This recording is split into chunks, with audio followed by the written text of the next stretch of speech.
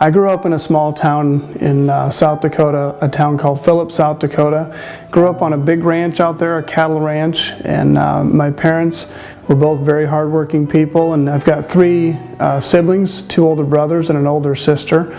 And um, took a took a big interest in wrestling from the time I was five years old. And um, wrestling just seemed to fit the type of person that I was and the type of work ethic that was employed on the ranch and on the farm out there was um, was really something that that fit well with wrestling. And I loved the sport from the very beginning.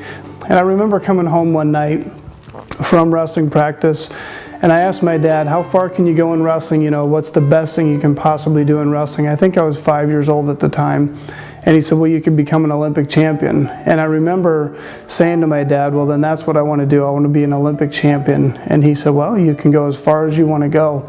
And I remember that night when I went to bed, uh, my dad said, Well, good night, champ. And that always stuck with me. Even though he never wrestled, he had a great insight and just a great perspective on the sport of wrestling. And obviously, being my dad, he knew me very, very well.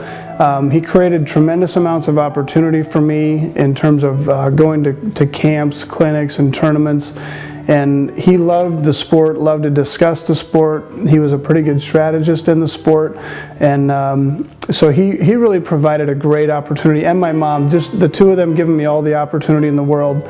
You know, I can't thank them enough for doing that. Um, I didn't have a body type like John Smith, didn't have the intellectual uh, knowledge of the sport like Dave Schultz did, or didn't have some of the flair that maybe a Randy Lewis or somebody did, but certainly I could learn a little bit from each one of these athletes, and that was really what my dad said to do, is take all your favorite wrestlers and for me, the 1988 Olympic team had a, a, great impact on me. I used to watch the films and watch the matches, and I'd buy all the technique videos that those guys put out and just try to learn as much as I could from each of those individuals.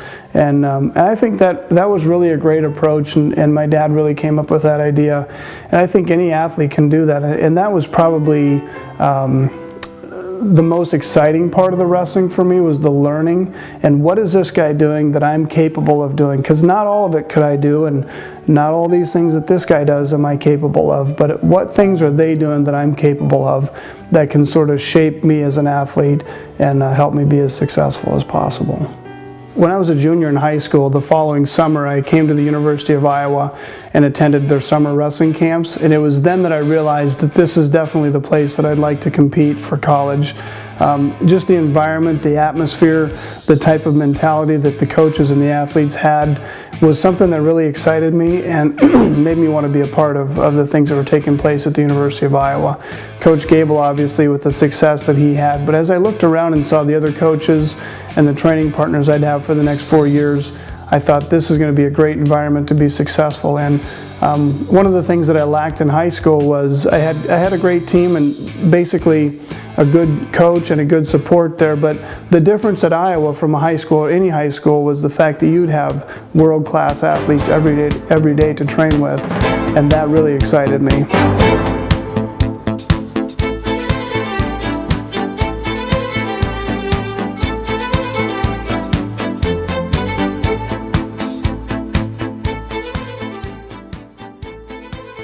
As far as counter offense goes in the world, Lincoln McIlravy is the best there is. He's a natural at it. He's got natural ability, but his conditioning also makes it an asset. He keeps pressure on his opponents, forces them to take a shot, and when they do, he takes the opportunity into his hands and he scores. Without a doubt, he's one of the best counter offense wrestlers in the world.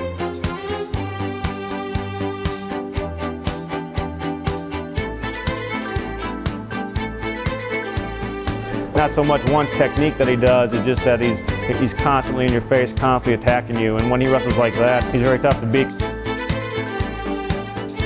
He's just really so intense, and, and that intensity is what really makes him better. Whether it's 10 seconds, whether it's 10 hours, you know, he's going to go hard and give everything he has.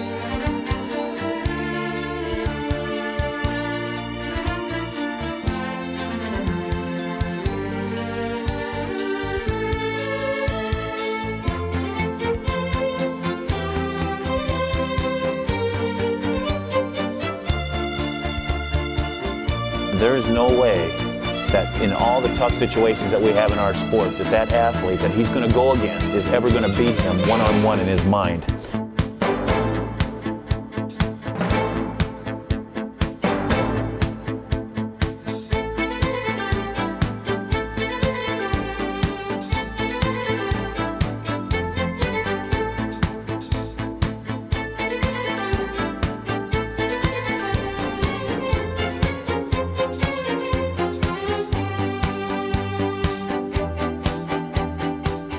Real dangerous from a lot of positions, and I think that makes Lincoln such a great wrestler. He can shoot a single and score just as well as he can counter a single and score. His victory right now, Lincoln McIlravy of the United States will win the bronze medal in this 152-pound weight class. His wife walks proudly down along Matt's side.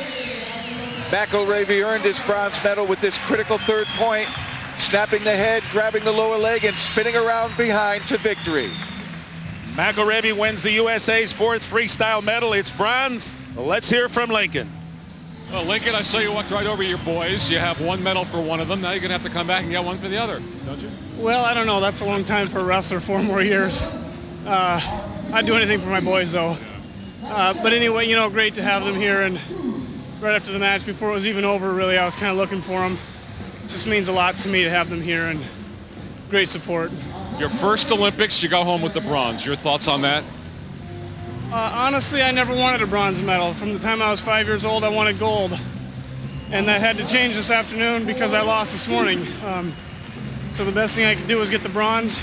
And I wanted to show America, uh, my family, my God, that I have a lot of heart and a lot of fight for them. Because um, I never wanted a bronze, but I know they all did. They wanted my best. And uh, that was really for them. After 1993, after my freshman year, my wife and I got married the following October. So I was just one year out of high school when, when my wife and I were married, my wife Lisa. And um, so, you know, not only the, the typical um, commitments that a college student has with academics and with athletics, but I also had uh, my wife Lisa with me now finally. And so, you know, my wife has been a great part of the support network and has been with me through um, all my college career and all my international career. And we started to have kids um, about a month after my senior year, the NCAA tournament. So I realized early on that, you know, we've got four children and my wife and I are very committed to our family and realized that for us to have the kind of success we want to have as parents, probably wrestling wouldn't be the best venue for that to take place just because of the time commitment. And we decided to um, parlay all that I'd learned in wrestling and the relationships and, and the work ethic and all the skills that I'd learned in wrestling and, and to apply those to business. And we're in the hotel business now. We own the Comfort Suites in Coralville. And I've learned a tremendous amount through wrestling that um, directly correlates to success in business.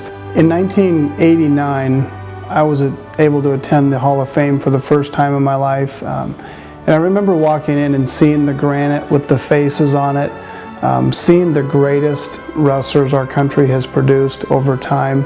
Um, and I just remember thinking, you know, how awesome is it to be able to see all these guys and see their credentials, see their accolades, get a glimpse of their story, um, and really to be a part of that, to be considered among the greatest that, that have wrestled for our country is truly the greatest honor that we can have in wrestling. I'm, I'm, I'm humbled and honored. I'm just thrilled to be a part of it. Um, I'm amazed.